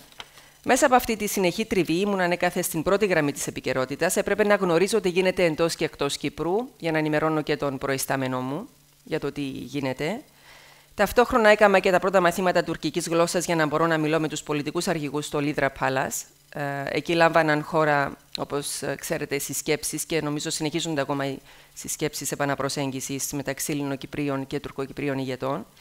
Αφού εξασφάλισα και εγγύηση στην τουρκική γλώσσα και αφού προτού ανοίξουν ακόμα τα οδοφράγματα, θυμάμαι, είχα πάει στην πρεσβεία της Σλοβακίας και εξασφάλισα άδεια, άδεια για μια ομάδα που κάναμε τουρκικά στο Λίδρα Palace να πάμε στα κατεχόμενα, δηλαδή σπίτι μας. Εξασφαλίσαμε την άδεια, θυμάμαι, μετά από μια πρωτοβουλία που είχε γίνει μέσα από αυτή την ομάδα επαναπροσέγγισης στο Λίδρα Palace. Η δικιά μας η ομάδα με την ομάδα των Τουρκοκυπρίων που μάθαιναν ελληνικά και έτσι θεώρησα ότι ήταν κάτι πρωτοποριακό για την τότε εποχή. Πριν ανοίξουν ακόμα τα οδοφράγματα, εσείς είσαστε πολύ μικροί για να θυμάστε. Δεν υπήρχε περίπτωση να περάσει κανείς και τότε θυμάμαι ότι είχαμε εξασφαλίσει, καταφέραμε σε εισαγωγικά να επισκεφθούμε τον ίδιο μας τον τόπο. Αυτές οι πρωτοβουλίες λοιπόν δεν είναι τυχαίες. Έγιναν γιατί απέκτησα τη δύναμη μέσα από τα μαθήματα που παρακολούθησα εδώ στο Πανεπιστήμιο Λευκοσίας. Εδώ με πρωτάκουσαν οι καθηγητές μου και αυτοί που ήταν, ήταν αυτοί που με φώναξαν, θυμάμαι, για voice-over στα εργαστήρια του Πανεπιστημίου. Ω ένα σημείο η φωνή, ξέρετε, δείχνει τα φόντα της. Από τα μικρόφωνα όμως και καλλιεργώντας την, γίνεται ακόμα καλύτερη πίστεψαν σε μένα ότι είχα την ικανότητα να βελτιώσω τη φωνή μου, ειδικά στα δελτία ειδήσεων. Εδώ ήταν που βραβεύτηκα με το πρώτο βραβείο καλύτερου ρεπορτάζ. Το θέμα αφορούσε τη χρήση κινητού τηλεφώνου και το κάπνισμα ή την πώληση τσιγάρου στα πρατήρια βενζίνης, θυμάμαι. Και δεν ξέρω τώρα τι δείχνει. Εδώ, ίσως αυτό, αυτό είναι. Αυτό το, το ρεπορτάζ που έγινε πήρε το πρώτο βραβείο εδώ και εδώ σε αυτή την αίθουσα ήταν που βραβεύτηκα γιατί ήθελα να αποδείξω ότι πολλά πρατηρία βενζίνης πίσω τους, βλέπετε, γράφουν ότι πολλούν τσιγάρα. Ε, εκεί, εκεί στο χώρο που, που γίνεται, που σου βάζουμε την αντλία τη βενζίνη, ο ίδιος ο βενζιάρη τέλος πάντων κρατάει και το τσιγάρο, γιατί έπαιρνα πλάνα. Έστησα εκεί καρτέρι και έπαιρνα πλάνα μέχρι να πετύχω τους ανθρώπους που το έκανα. Και το πέτυχα. Ε, ήταν ώρες ολόκληρες για να γίνει αυτό το, το ρεπορτάζ. Θυμάμαι τη Σοφία, Κάτσαμε μετά να κάνουμε το μοντάζ και δεν ξέραμε πόσα πλάνα να βάλουμε, γιατί ήταν και περιορισμένος ο χρόνος, ξέρετε, με τα, με τα ρεπορτάζ που έγιναν. Και ε, εδώ είναι που πήρα το πρώτο βραβείο και το πρώτο βραβείο μετά το θέμα το ζήτησε το Μέγα, θυμάμαι, και το έπαιξαν Παγκυπρίω για να φανεί ότι εδώ η δουλειά που γίνεται δεν ήταν τυχαία. Και όντως η δουλειά μέχρι σήμερα δεν είναι τυχαία που γίνεται εδώ. Εδώ ήμουν όταν είχα επιλεγεί μεταξύ αρκετών άλλων φοιτητών για να εκπροσωπήσω το Πανεπιστήμιο μας σε συνέδριο στην Κωνσταντινούπολη. Ήταν ένα συνέδριο για τις διενέξεις μεταξύ των κρατών και είχα επιλεγεί μεταξύ αρκετών άλλων φοιτητών, ήμουν στο τρίτο έτος θυμάμαι τότε, μαζί με τον φίλο τον Σταύρο του Κυπριανού, την Άσια και αρκετούς άλλους. Βγήκαμε στις Βρυξέλλες και ήταν πάρα πολύ επικοδομητική αυτή η επίσκεψη στις Βρυξέλλες, στην Κωνσταντινούπολη ήταν, γιατί εκεί όταν πήγα στην Κωνσταντινούπολη ήταν εκεί που θυμήθηκα και τα τουρκικά που έκανα. Είναι αυτό που είπε και ο Μάριος, ότι μάθεις δεν πάει χαμένο. Εκεί, μετά όταν πήγα, και αργότερα στην Τραπεζούντα, όταν ήθελα να παρακολουθήσω τον αγορά της ανόρθωσης, ε, ό,τι μάθεις και το μάθεις καλά, είναι όπως το ποδήλατο, έρχεται. Έρχεται από μόνο του. Εδώ στο συνεστούτιο ήταν που γυρίσαμε και το Fame Lab, κύριε Περιστιάνη. Θυμάστε, κάναμε το προκριματικό εδώ. Μετά ανέβηκε στο RIC ο προκριματικός και ο τελικός έγινε στο στούτιο 3 του RIC. Είναι ένα τηλεπαιχνίδι το Fame Lab, το οποίο μέσα από διαδικασίες κριτικής επιτροπής αναδεικνύει τον καλύτερο επιστήμονα, ο οποίος μπορεί να συνδυάσει το λόγο με το χιούμορ και τη μετα... μεταδοτικότητα, πραγματεύοντας ένα θέμα επιστημονικού περιεχομένου μόνο σε τρία λεπτά. Σας το λέω γιατί τώρα μόλις έλα και στον κύριο Περιστιάνη ότι έχει προκηρυχθεί ο τρίτος διαγωνισμός. Να σας πω ότι ο κύριος Περιστιάνης είναι κριτής της Επιτροπής, ένας από τους κριτές. σε τρία λεπτά ανεβαίνει ένας φοιτητής εδώ με ένα επιστημονικό θέμα, το παρουσιάζει με καθαρό λόγο, επικοινωνιακό, αυτό που μαθαίνουμε στις επικοινωνίες, και διασκεδαστικό τέλος πάντων. Μέσα σε τρία λεπτά τεκμηριώνει και φεύγει. Και οι κριτές παίρνουν την απόφαση και να σας πω ότι την πρώτη φορά του διαγωνισμού που, λάβε, που λάβαμε μέρος ως Κύπρος στο διεθνή διαγωνισμό, γίνεται πάντα στην Αγγλία, πήραμε την πρωτιά. Ήρθαμε πρώτη. Ε, ήταν η Μυρτάνη Πιερή. Πέρσι πήραμε τη δεύτερη θέση γιατί δεν μπορούσαν να μας δώσουν ξανά την πρώτη θέση. Δηλαδή ήταν τόσο καλός και ο Περσινός που εδώ κρίθηκε ότι θα μπορούσε να μας εκπροσωπήσει, πήρε τη δεύτερη και ο λόγος είναι αυτός. Όχι γιατί δεν του άξιζε η πρώτη θέση, ήταν γιατί πήραμε πρόπερση την πρώτη θέση, γι' αυτό μας έδωσαν τη δεύτερη. Ελπίζω και εσείς να λάβετε μέρος, είστε και των επικοινωνιών, οπότε έχετε το χάρισμα να ανεβείτε να δώσετε ένα επιστημονικό θέμα σε τρία λεπτά. Και έχετε και κριτή με το μέρος σας εδώ. Όλα αυτά λοιπόν δεν ήταν λίγα για να με δυναμώσουν και να με αναδείξουν αργότερα.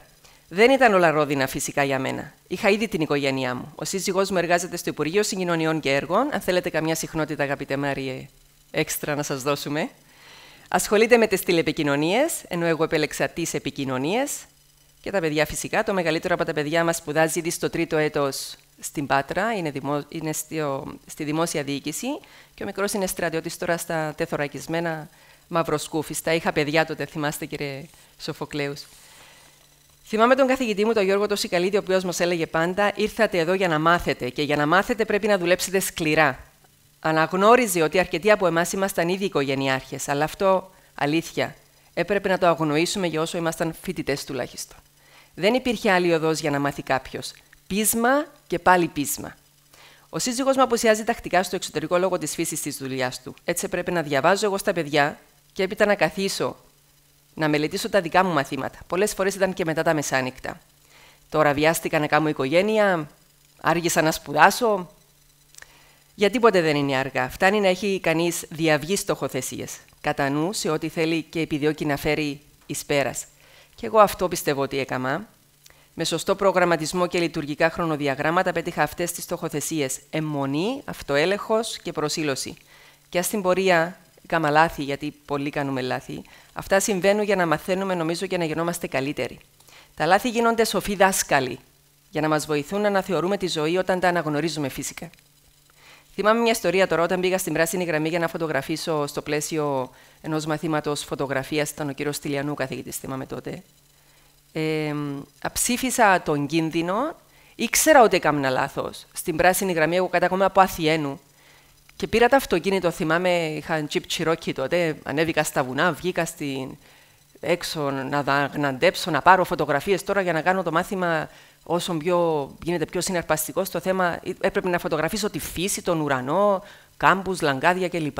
Πήρα το αυτοκίνητο, τη φωτογραφική, ήταν και φωτογραφικές, ξέρετε, manual, να τις χειρίζεσαι, δεν είναι αυτόματες. Έπρεπε να. έθελες χρόνο να κάνεις τα lens κτλ. Δεν πέρασε πολύ ώρα. Δέκα λεπτά, φωτογράφιζα, εγώ φωτογράφιζα.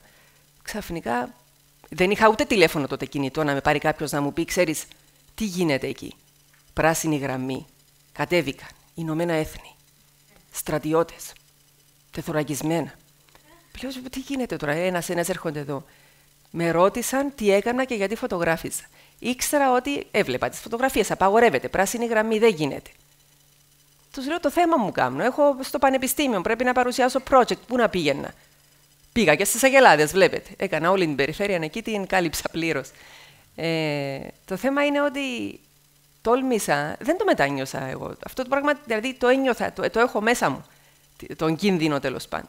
Ήθελα να πάρουν το φιλμ, τα είχατε τώρα, έβγαζα φωτογραφίες. Τους λέω: Πάρτε να δείτε τι είναι. Καθαρά ουρανός είναι. Ούτε τον ουρανό να το φωτογραφίσουμε, και αυτό το project στην, στο μάθημα της φωτογραφίας πήρε άριστα γιατί είναι αυτό που νιώθεις μέσα σου ότι τα καταφέρνεις. Δηλαδή είναι αυτό που τολμάς. Πρέπει να τολμά κανείς. Αν δεν τολμήσει κάτι, να κάνει το, κάτι παραπάνω, εντάξει, πάντα υπάρχουν τα πλαίσια. Θα χτυπήσουμε, θα σηκωθούμε κτλ. Αλλά σας συνιστώ πάντα να τολμάτε, να κάνετε αυτά που πιστεύετε ότι δεν θα μπορούσατε να κάνετε. Απέκτησα λοιπόν το πτυχίο των επικοινωνιών με συνολικό μέσο όρο 3,75 στα 4, τίτλος Summa Cum Laude. Δεν κατάφερα να πάρω εκείνο το πολυπόθητο 4 στα 4, διότι ήθελα να κρατήσω τις ισορροπίες σε οτιδήποτε θεωρούσα σημαντικό κομμάτι της ζωής μου. Δεν εγκατέλειψα τα μέλη της οικογένειάς μου. Είχα την ακαταπώνητη στήριξή τους σε κάθε μου βήμα, δεν χαλάρωσα στις απαιτήσεις της δουλειάς μου και μέσα μου το πάλευα συνεχώς. Δηλαδή, ό,τι και να είσαι, όπως και να είσαι, και η οικογένεια να έχεις και δύο και τέσσερα παιδιά, νομίζω όταν το έχεις πρέπει να συνεχίσεις να παλεύεις. Όλα αυτά τα χρόνια δεν σταμάτησα ποτέ να μελετώ. Μόλις τώρα ολοκλήρωσα αισίως και το μάστερ μου στις κοινωνικές και πολιτικές επιστήμες του Πανεπιστημίου Κύπρου. Παρακολουθώ ανελειπώς ημερίδες ή συνέδρια, τα οποία με βοηθούν στη δουλειά μου, αλλά και ως άνθρωπο να γίνω καλύτερη. Ε, τώρα η κυρία Ρούσου που μπαίναμε, το ανέφερε ήδη και ο Μάριο. Ε, της έχω πει κάτι, μου λέει γενικά πώς πάει η ζωή. Της είπα, το παλεύουμε συνεχώς. Δυστυχώς της λέω τώρα ή ευτυχώς, μας έχετε μεταλαμπαδεύσει ένα, ένα γεγονός. Πώς να το ονομάσω, δηλαδή αυτή η ενέργεια που είχαμε τότε. Από τους καθηγητές την πήραμε. Από τους ίδιους τους καθηγητές παίρναμε έναυσμα από τους ίδιους για να πάμε εμείς παρακάτω. Ε, όλα αυτά μας τα έχουν βάλει μέσα μας και εγώ ακόμα νιώθω και ο Μάριος το ίδιο πιστεύω. Συνέχεια, συνέχεια, να προσφέρουμε συνέχεια ό,τι ξέρουμε ή και να μάθουμε. Να πάρουμε και να δώσουμε. Όλη αυτή η ενέργεια πιστεύω ότι συνεχίζεται από τότε που ήμασταν εδώ ως φοιτητές. Πίστεψα στους καθηγητές μου εδώ και όσο τους είχα κοντά μου, ρωτούσα πώς θα μπορούσα να βελτιωθώ ακόμα περισσότερο. Και ήδη ακόμα το κάνω. Ο Ανδρέας ο Μαραγκός, καθηγητής ορθοφωνίας, μου είπε κάποτε ότι η φωνή μου είχε τον πάσο των ειδήσεων. Αρκούσε όμως να μάθει να αναχειρίζομαι σωστά το διάφραγμα. Αυτό. Τα μαθήματα εδώ στο Πανεπιστήμιο, όντως, τότε, δεν ήταν αρκετά για να βελτιωθώ σε αυτόν τον τομέα. Πήγαινα επιπλέον ώρες και έκανα μαθήματα θεάτρου τα οποία με βοήθησαν πάρα πολύ. Μα πάρα πολύ. Όταν με ρώτησε ο, ο Ανδρέας ο Μαραγκός, τι ξέρεις από θέατρο, του είπα τίποτε απολύτως. Αυτόματα η αντίδραση του ήταν τότε τι ήρθες να κάνεις εδώ, τι να σε κάνω; Και η απάντησή μου ήταν να με μάθετε να αναπνέω σωστά. Τουλάχιστον δεν θα γίνω ηθοποιός, αλλά να μάθω να αναπνέω σωστά. Να σταματώ εκεί που πρέπει, να κάνω τις απαραίτητες παύσεις, να καταλάβει ο κόσμος τέλος πάντων τι είναι αυτά που θέλω να πω. Το μυστικό ήταν ένα, να μπορώ εγώ να αντιληφθώ πρώτα την ίδια την είδηση και αν εγώ την καταλάμβανα την είδηση με τον τρόπο που την εμετέδιδα, εύκολα θα την αντιλαμβανόταν και ο ίδιος ο ακροατής ή ο τηλεθεατής. Με τον καθηγητή της ορθοφωνίας δούλεψα πολύ τα κείμενα τα πρίμα βίστα. Πρέπει να τα έχετε μάθει. Οι ειδήσεις, όπως ξέρετε, είναι καθαρά ε, ενώ υπάρχει μια είδηση και την ξέρεις ή την έχεις τέλος πάντων σε γραπτό λόγο για να την πεις, αυτόματα αλλάζει. Συνέχεια είμαστε στην επικαιρότητα, είμαστε, τρέχουν ειδήσεις, όλο ένα και νέα πράγματα έρχονται. Όταν είσαι στον αέρα, έρχονται, σου τα αλλάζουν, σου λένε άλλαξε το τάδε πράγμα, στο αυτή να ακούς διάφορα πράγματα από το control, σου προσθέτουν, σου διαγράφουν και όλα αυτά πρέπει να είσαι σε θέση να, τα, να αντεπεξέλθεις χωρίς να αντιληφθεί τίποτε ο τηλεθεατής, ούτε ο ακροατής. Εδώ και τόσα χρόνια είμαι συνεργάτη Δαστορίκ από τις 5 το πρωί, ίσως και μέχρι τα μεσάνυχτα. Κάνω αυτό που μου έμαθαν οι καθηγητές μου εδώ στο Πανεπιστήμιο Λευκοσίας, να αγαπώ αυτό που με εμπιστεύτηκαν να κάνω, εκφωνώσω το δυνατό καλύτερα τα δελτία ειδήσεων της τηλεόρασης αλλά και του ραδιοφώνου και οι βάσεις για όλα τα πιο πάνω τέθηκαν ακριβώς εδώ.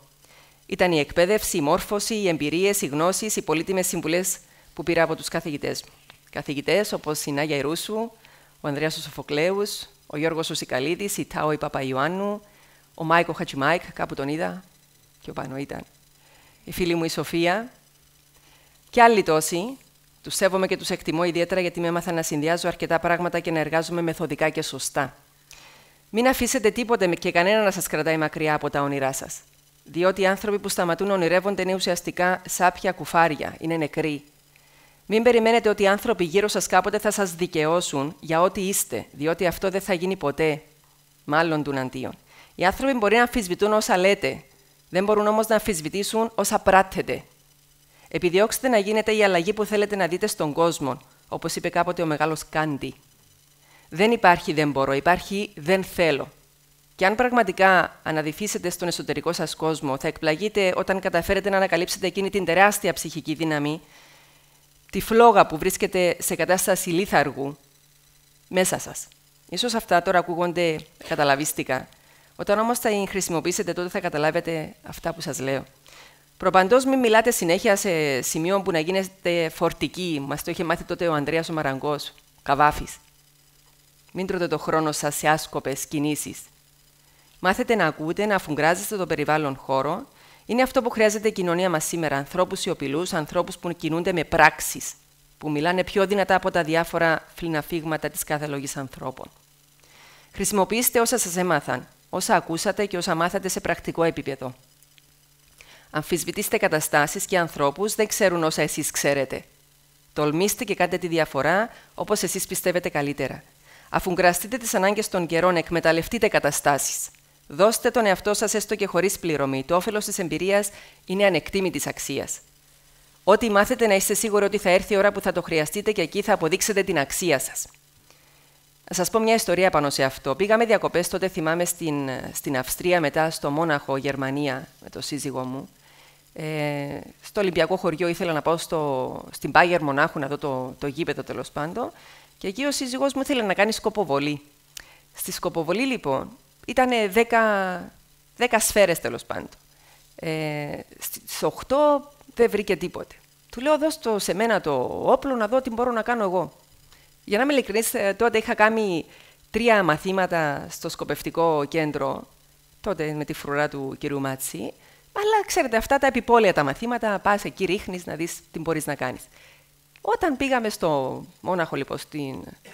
έξω από το γήπεδο εκεί, και έριξε οχτώ ο σύζυγός μου, που σημειώστε ήταν και στρατιωτικός, πρώτου πάει στο Υπουργείο Συγκοινωνιών, ε, του λέω δώσε να ρίξω και εγώ να δω τι γίνεται. Το λοιπόν η ένατη πήρε κέντρο. Πήρε κέντρο. Και τι πήρα, ένα γίγαντα τόσο... Α, τι κέρδισα, κέρδισα ένα τίγρη, θυμάμαι, να έχω και τις φωτογραφίες εδώ. Ε, και τον κουβάλισα στο σπίτι. Είχαμε και ειδική θέση στο αεροπλάνο για να κουβαλήσουμε εκείνο τον τίγρη, να το φέρουμε στην Κύπρο, γιατί τον κέρδισα και ήταν. Και μετά όλη η ομάδα που πήγαμε, να σας πω, ότι με είδαν που κρατούσα εκείνο το πράγμα. Και ήθελα να, να ξαναπάμε στο Ολυμπιακό χωριό, να ξαναρίξω εγώ, να κερδίσουν και τα παιδιά τα άλλα της ομάδας, να κουβαλήσουν και αυτοί τέτοιους τίγρη. Η δέκατη σφαίρα, μου λέει ο άντρας μου, δώσ' το σε μένα να ρίξω και τη δέκατη εγώ να δούμε. Κάτι δεν πήγαινε καλά, μου λέει με το πιστόλι. Του λέω τώρα με κοροϊδεύεις. Του το έδωσα. Ρίχνει, τίποτε. Μου λέει πάλι έχασα. Του λέω τι να σου κάνω, αν μου το δίνει να ρίξω και τη δέκατη, θα κρατούσες και εσύ τώρα έναν τίγρη. Οπότε τολμήστε, είναι αυτό που λέω ότι πάντα, ενώ δεν ξέρεις, πρέπει να τολμάς. Ποτέ δεν ξέρεις τι θα σου βγει. Τολμήστε ακόμη και εκεί που νομίζετε ότι δεν θα τα καταφέρετε. Φάτε τα μούτρα σας και ξανασηκωθείτε.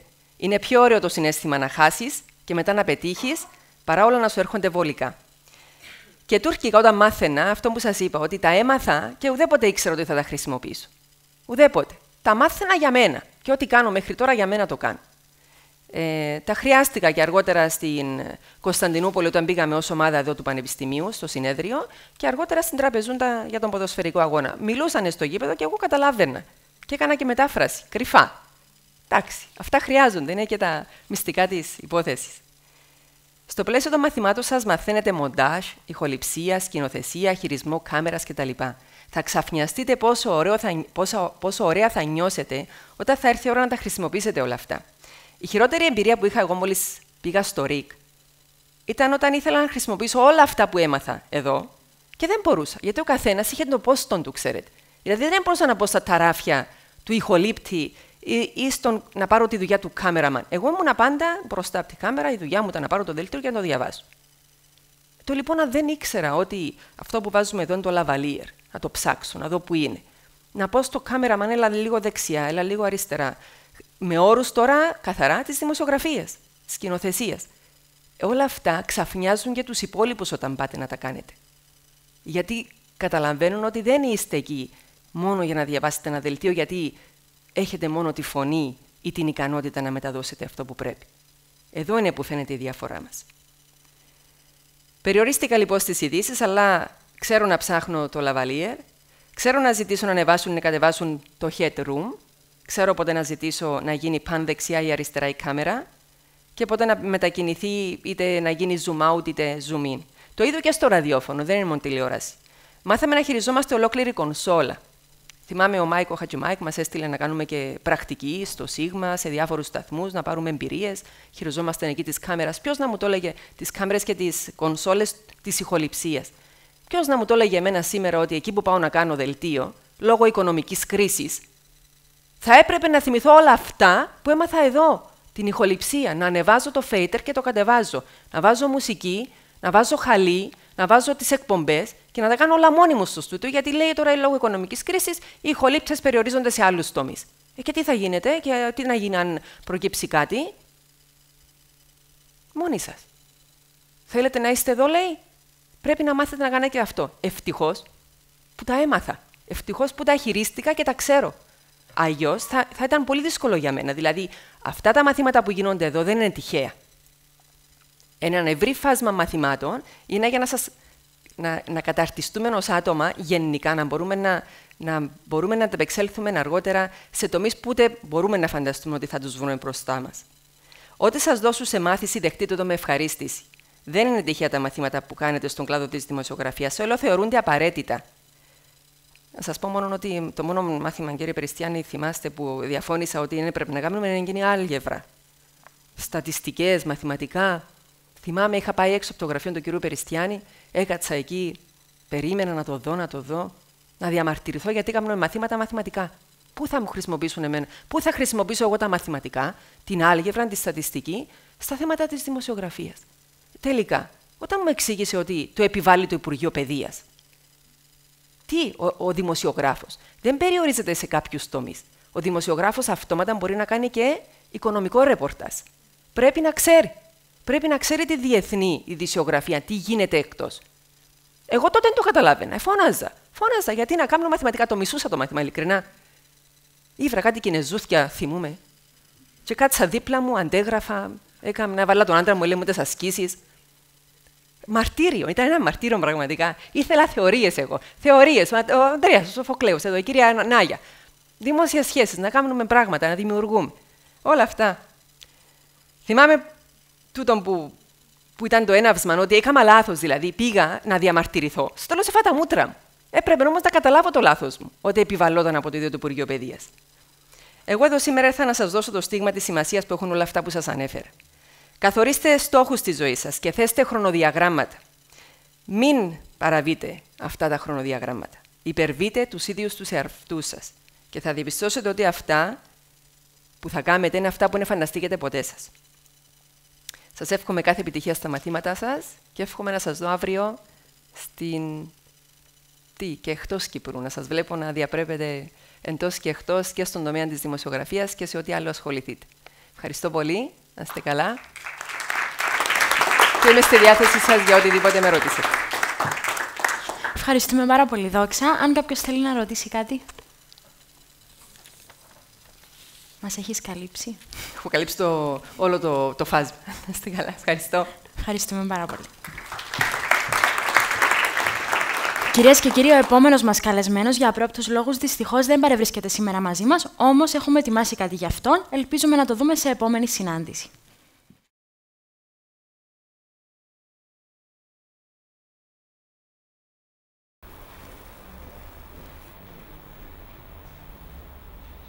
Είμαι ο George Clooney ή άλλος Άθος Κυριάκου.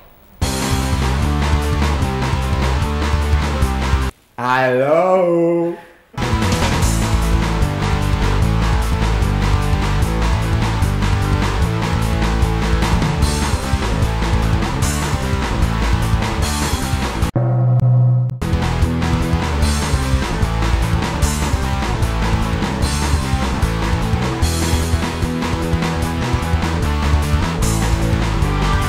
Μπορεί να με έχετε πολλά σοβαρό, βάρτε και καμιά μπελαρούα που λαλούμε.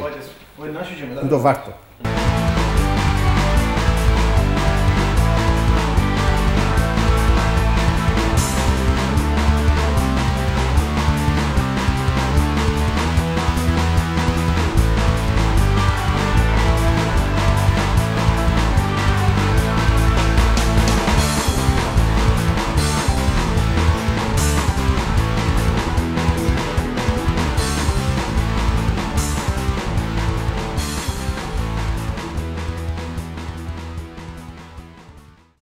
Δεν ξέρω για εσά, αλλά νιώθω ότι αυτές οι παρουσιάσεις μας έχουν χαρίσει απεριόριστο πλούτο γνώσεων και εμπειριών. Το να διασχίζετε μονοπάτια με ανθρώπους που μπορεί να σας καθοδηγήσουν ή να σας δώσουν σημαντικές συμβουλές μπορεί να κάνει τη διαφορά στη ζωή σας. Ο Μάριος και η Δόξα έχουν αφιερώσει λίγο από τον πολύτιμο τους χρόνο για να είναι εδώ σήμερα μαζί μας. Αποτελούν πραγματικά έμπνευση για μας και είναι η δική μας απόφοιτη. Ακόμη ένα χειροκρότημα για αυτούς και να τους καλέσω τώρα στη σκηνή μαζί μας.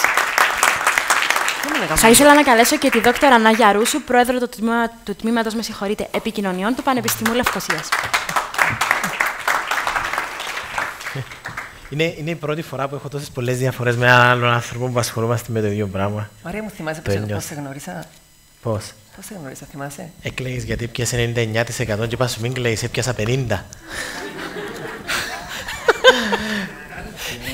Ο Μάριος ήμασταν στην ίδια εντάξει και του λέω Δεν μου λες, τώρα που σε ακούω, κάπου σε ξέρω εσένα, κάπου σε ξέρω. Μου λέει, Πού με ξέρεις. Δεν ξέρω, σε ακούω. Είσαι του Zenith. Ναι. Από τη φωνή σε άκουσα, δηλαδή είχαμε από τότε μουσικό αυτί. Ναι, από τη φωνή που, σε, που μιλούσες Και εγώ από τότε μιλούσα και λάλουν πελλάρες.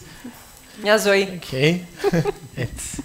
Λοιπόν, από μένα δύο-τρεις κουβέντες μόνο. Ε, καταρχήν θέλω να χαιρετήσω τη σημερινή εκδήλωση και να συγχαρώ τους οργανωτές, να συγχαρώ τον Τζον τον Μαυρί, τον Media Zone, ε, τους υπόλοιπους συνεργάτες τους, γιατί πραγματικά είναι μια λαμπρή ευκαιρία για το φοιτητικό σώμα, το νυν φοιτητικό σώμα, να γνωρίσει τους αποφοίτους μας και να δει πώς προχώρησαν στη ζωή και είναι δύο λαμπρά παραδείγματα, πιστεύω, ο Μάριος και η Δόξα. Ε, δεν πρέπει να ξεχνούμε κάτι πάρα πάρα πολύ σημαντικό.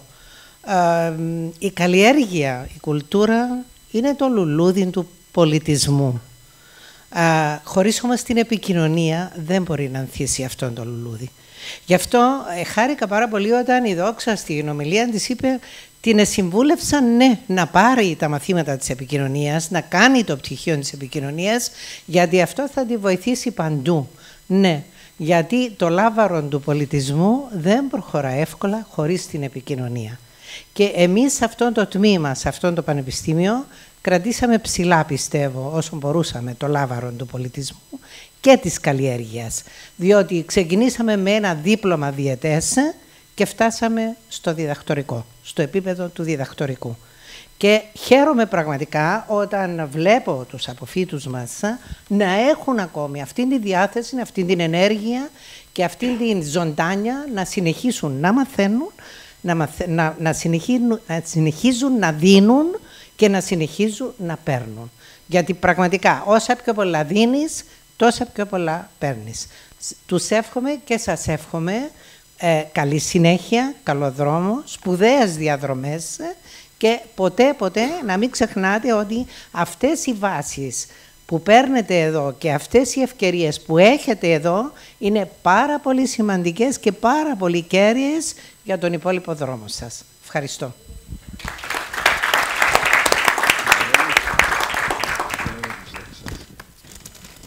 Ένα μικρό δωράκι. Είστε καλά, ευχαριστούμε πολύ. Αναμνηστικό. Κουλου. Από την εδώ επίσκεψη. Ε, να αναφέρω ότι Κουλουράκια. ο Τζον μου ζήτησε και το βραβείο να δει τι μου δώσανε τότε που πήρα το πρώτο για το ρεπορτάζ και του έφερα μια ωραία φανελίτσα που έχει πάνω... Ναι, ήταν μια ωραία φανέλα, ένα ωραίο cup που ήταν πάνω, έγραφε πάνω Intercollege τότε. Και είναι αυτά που μένουν πάντα να τα βλέπεις και να θυμάσαι. τι- Βέβαια, βέβαια. Συγχαρητήρια και να σας βλέπουμε. Ναι. Να. Ευχαριστούμε. Ευχαριστούμε πάρα πολύ. Θα ήθελα να ευχαριστήσω τη μονάδα Media Zone, καθώς και τους εθελοντές της Νατέρνα Κιζατέ, Ανδρέα Παπαθεοδούλου και Κρίστιαν Στράτευ. Ειδικές ευχαριστίες και στο διευθυντή της μονάδας Τζόνι Ιωάννου, ο οποίος εμπνεύστηκε τις συναντήσεις αυτές.